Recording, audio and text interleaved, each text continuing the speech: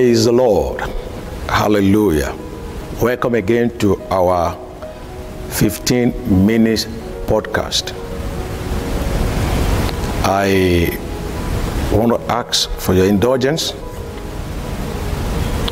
The place, if you are not, if you have not subscribed to my YouTube channel, I want you to subscribe now. You will see subscription, press on the subscription, and then you will see a bell, press on the bell, and then you are already a subscriber. What does that cost you? Nothing. It does not cost you anything. What it does is very simple. Every time the podcast is ready, a notification is sent into your handset. I know you are busy, you have so many things doing, but you see, once you are back and your phone is up, you'll be notified that podcast from David Nuga is ready. And then you can follow us in this series as we help to build your faith in Christ. Praise the Lord. Now, today, I, this Monday podcast, I want to start us on a series of teaching which I call Unbelief is an Enemy. Unbelief is an enemy. And um, we're going to be using two scriptures as background scripture, which is uh, Matthew 17 14 to 21, the apostles' experience, and then, then Jesus Christ's personal experience himself. But I'm going to start with the experience of the Lord Jesus and then um, we're going to be building further with the apostles' experience so that we'll be able to see how to reaffirm how unbelief comes and what is unbelief and how to actually successfully deal with unbelief. Because the truth is this if you don't deal with unbelief, unbelief will deal with you. You, you in this series, you are going to be seeing that unbelief is actually more than what you know unbelief to be. And that's why I'm going to be taking my time and we're going to be following each other gently. And then God is going to help us to build this understanding. Okay, I'm going to be reading from Mark 6 1 to 6. And uh, the Bible says, And he went out from thence and came into his own country. I wanted to know that word, own country. That's very important. That is very important. He came to his own country. That's very important. His own country. And uh, his disciples follow him. And when the Sabbath day was come, he began to teach in the church.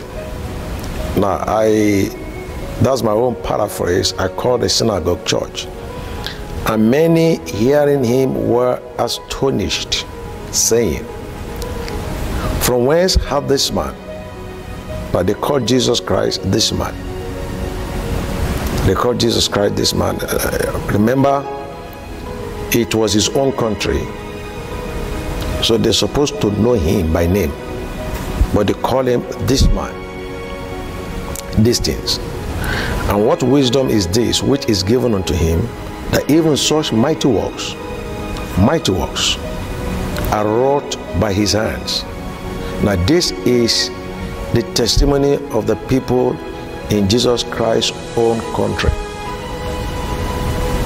Hallelujah. Now, look at the next statement. After they're calling him this man, the next statement is that is not this the carpenter?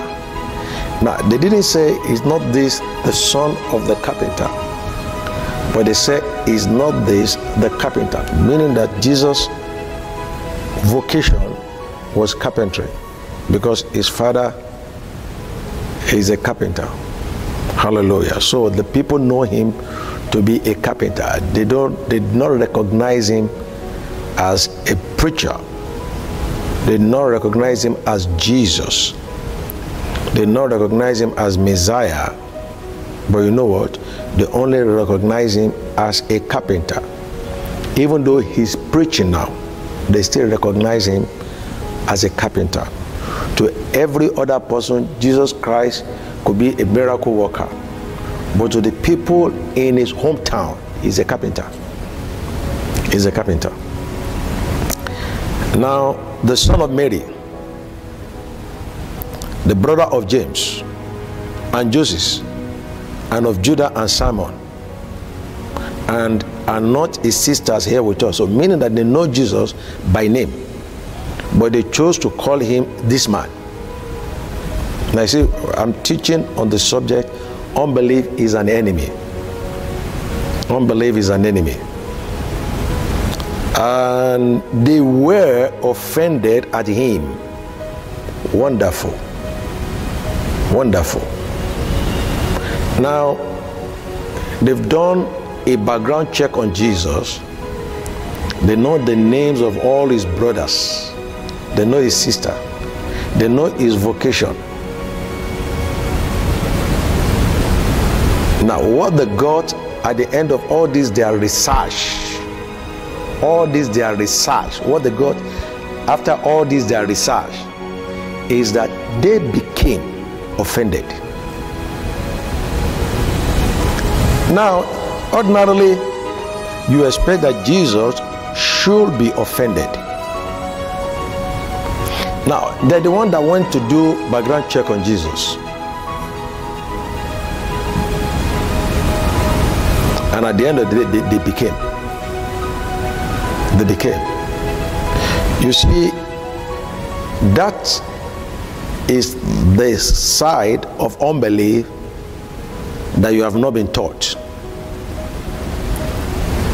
That you have not been taught. I, as we go in the series, I'm going to show you and I'm going to prove it to you that unbelief is an event. Unbelief is an event. It's an event. And when you come to recognize that unbelief is an event, you come back to discover that you can never preach away unbelief because it's an event. Unbelief is a mountain. I will show us in this series.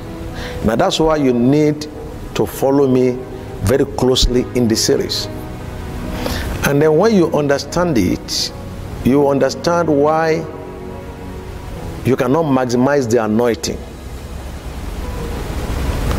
of people that God has sent to your life in your life. Let's move on. And uh, uh, and they were offended in him. They were offended in him. But Jesus said unto them, A prophet is not without honor, but in his own country, and among his own king, and in his own house. Did he see what we started? He came to his own country. And he could dare do no mighty works. Now, the, the challenge is not with Jesus, because the people themselves said, earlier they said, From whence hath this man these things, and what wisdom is this which is given unto him, that even such mighty works were wrought by his hands? Did you see that? So, mighty works was wrought by the hands of Jesus. The people know it. They know what happened at Capernaum. If you read Luke chapter 4, they know what happened. They told him what we heard and what we saw happen in Capernaum. Do here. So the problem is not if Jesus can do mighty works or not. He could do mighty works. But in this case, he could not do it. Could that be responsible for why your pastor has not been able to do mighty works in your life? Yes. And I'm gonna I'm, and that's what this series is all about.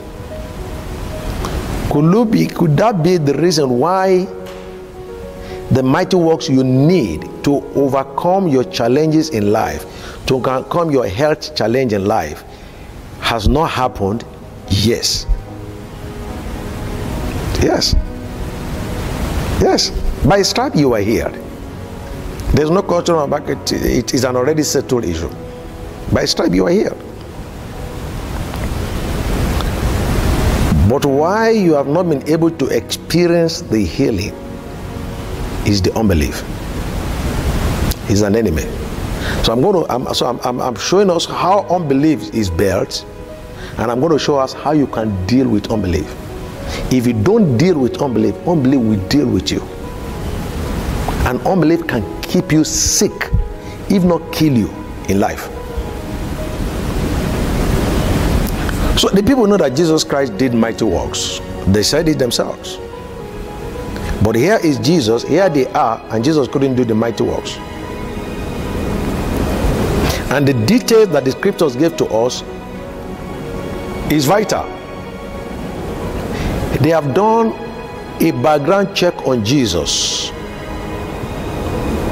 The background check on Jesus did not make them to call Jesus by Jesus because they know the meaning of the word Jesus.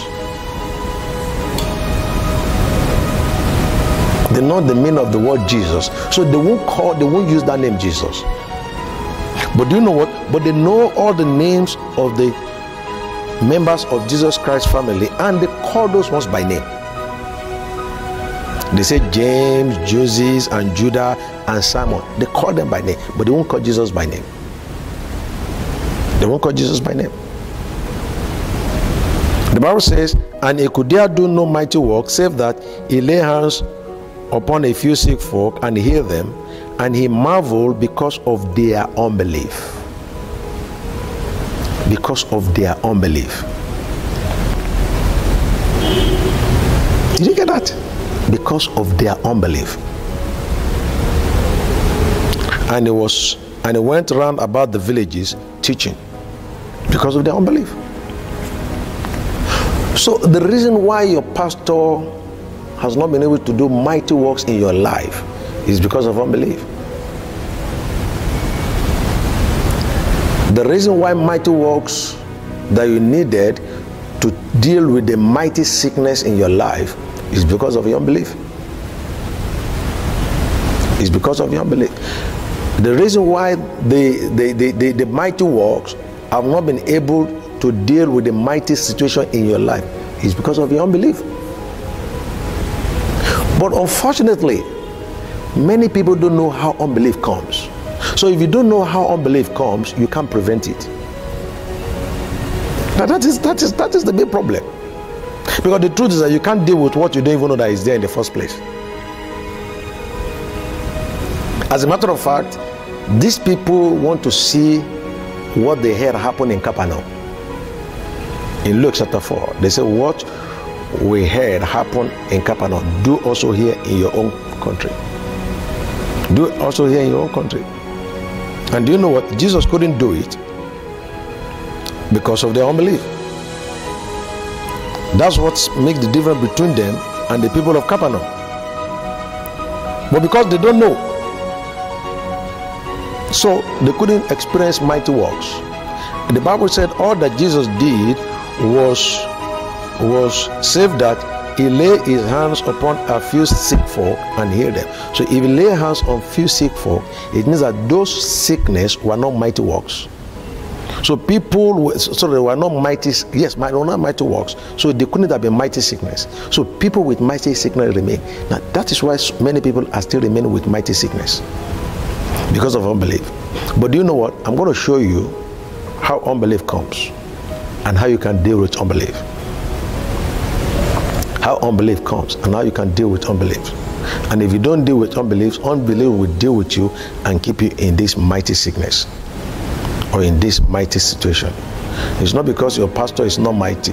The question is not whether Jesus Christ is mighty or not. Jesus is mighty. The Bible said that the people said ah, that all these mighty works were wrought by thee. They know that mighty works were wrought by Jesus. But they could not experience it. Why? Because of their unbelief.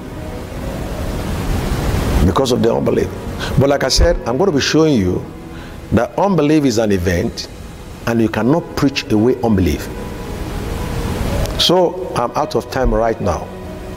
So in our Wednesday podcast, we begin to build further on the series of teaching which we call Unbelief is an Enemy. God bless you from me here. I want to tell you that Jesus Christ is Lord. I will see you in our Wednesday podcast.